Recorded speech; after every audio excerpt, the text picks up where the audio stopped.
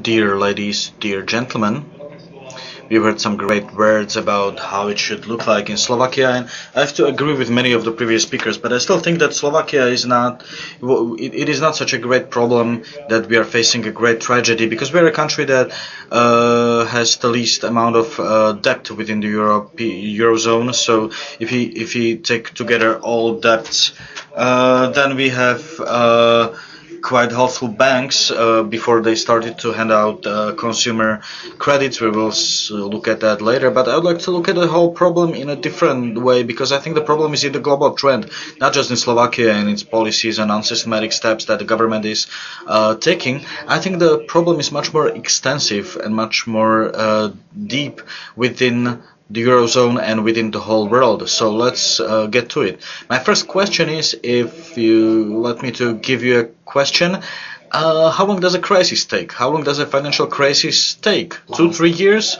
Five years? Yes, exactly. Now in June we will have the fifth anniversary of the collapse of uh, some uh, funds um, because they they um, they lost value, and it is something that is a reality because after great fun uh, there was uh, sobering. And when the party was over we got sober and we saw it on this ba this bank. And it was um, demonstrated uh, well the it was um, we felt it in economy some time afterwards uh, from then on, we've been facing the crisis, and globally, we uh, politicians spent 12 billion, 12 um, trillion of dollars to resolve the crisis, and this is quite a quite a good solution, and many many people agree with this. But we are still just treading water, and this is the image where we are right now. This horse that should be pulling the world forward uh, is stuck, and maybe we will need to spend more trillions, and nothing is going on. So I feel that much more will have to be done. And if you've been following uh, policies, uh, politics in the eurozone, you see that the greatest problem is uh, that many European governments are starting to um, deal with the term of growth, economic growth, how to support and drive the growth, because saving has not uh, been um, proved to be successful. You see the French president who is trying to lower the age of pension, he's trying to um, hire new uh, civil servants that will drive, econ drive economic growth. On the other hand, there's uh, Merkel who thinks that we need to save, and this is the great uh, disagreement we have in the European uh, economy because I think that we cannot do one or the other. We need to make a choice. Uh, presently, it seems that uh, saving just had hit the dead end and it is being negative because we see that in Greece because Greeks are trying to save and their GDP will go down by 20% compared to the maximum in 2008 so a common politician will tell you this is the cycle the spiral of deflation because uh, government expenses means lower demand lower GDP lower income of uh, enterprises, that means saving in private uh, sphere, that means low, higher unemployment um, and greater cuts. And so this is a vicious circle. So it seems that Germany is not bright and saving money does not help at all. Is it really like that? I think it's not really because because you can see it in what what you can see is in Greece is that this picture will be seen more often, not just in Greece, maybe in other countries, because the state is trying to replace the missing money of the people who started to save money.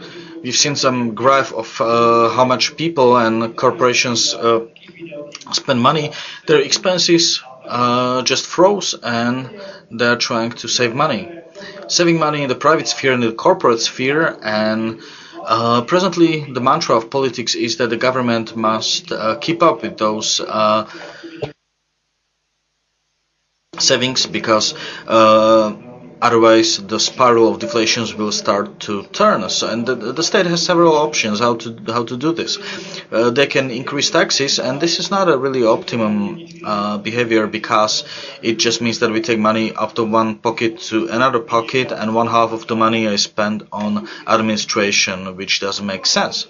The second issue is that we can drive economical growth and by more making more debt but what happened when we take a look at ratings of European countries is that it is not that possible to make more debt because we've hit the wall and it is a very negative factor. And this is probably the most important graph that I do have in my head.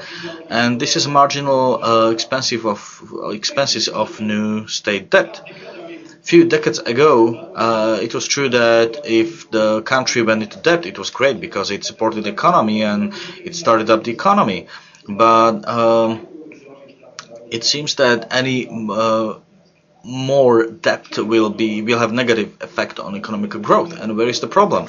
I think the problem is very substantial. It is not a problem if the government spends 1% or 100, 100 million here and there. The problem is in the thinking of people in the thinking of politicians and economists.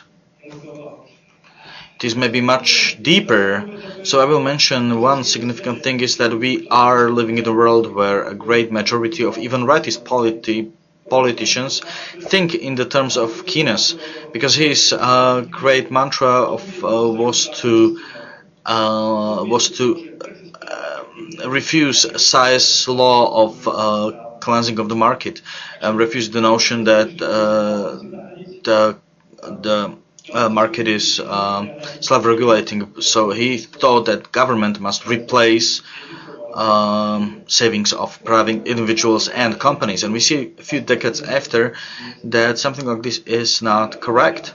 And if we take a step back and take a look at uh, what should what politicians should be doing, uh, well, because five years of crisis without uh, moving even one inch further means that probably thinking or the basis or the philosophy of economy is incorrect. And I'd like to um, proceed to, to what uh, Keynes was trying to criticize, and that is Jean-Baptiste Say, and that's the guy who came with this idea we need to come back to, and the idea is that manufacture is the is the source of uh, demand. Only once we produce, then we get demand, and uh, governments are trying to stimulate demand, and that is the fight between uh, Hollande and Merkel that states must create demand. No, uh, demand must only come from new production. It is very easy because when I produce something, I'm trying to offer it to some other people, and by this I stimulate growth, and this makes economy go forward. So it is production that creates. Um, money, not state expenses, not state expenses, and we are uh, facing the thing that we need more um, social um, benefits and uh, we need uh, to make people that people we need to make sure that people uh, live on the decent level. Uh, but I'm afraid that this road from the economical uh, point of view is uh, unsubstantiated. At the only objective where it leads is higher inflation and hidden redistribution of the wealth of society. I think the correct road is toward driving uh, production, but not through state expenses, but through making rules. Because once a state is capable of making meaningful rules and enforcing them, it is the greatest thing a state can do for uh, the entire business environment and for protection of this environment. And that is why, once again, uh, the main idea I'm trying to emphasize is that we are facing we are facing the time of great changes and great problems. Many of us do not realize that. Even the most the most uh, well-known world politicians do not realize that, and now it is time, and maybe we've passed up the time of uh, seeing whether the present day politics makes sense or not. I don't think it does, and the sooner we start uh, supporting production and demand by creating uh, systematic steps and rules, then we can start making wealth. Thank you very much.